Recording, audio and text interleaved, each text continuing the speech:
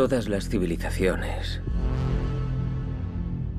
se han construido a costa de una mano de obra desechable. Pues Blade Runner 2049 em, eh, es la, la mayor decepción para mí del, del año. Decepción por las enormes expectativas ¿no?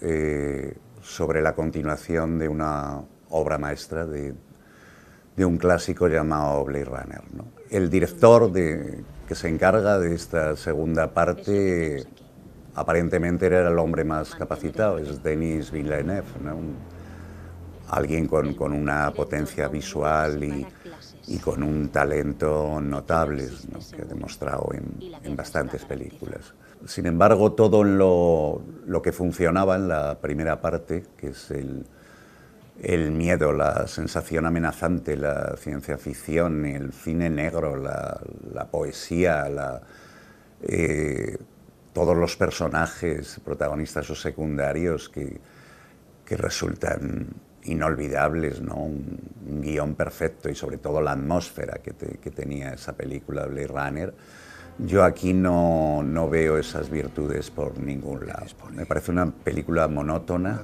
aburrida, estas que muy larga, muy larga, en la que solo me desperezo cuando aparece Harrison Ford. ¿no?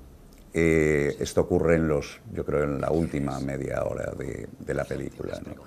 No tiene, no tiene vida, le falta nervio, le falta alma a lo que cuenta y y, cómo, cómo, lo cuenta. Es, eh, es de una monotonía exasperante y a mí particularmente me, me da igual lo, el, el, pasado, presente o, futuro, entre comillas, de todos los personajes que aparecen aquí.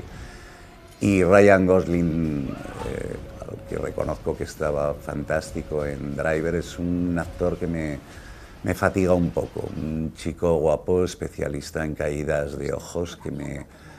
Eh, aquí se supone que es vulnerable, el personaje más solo del mundo, pero repito, me, me da igual.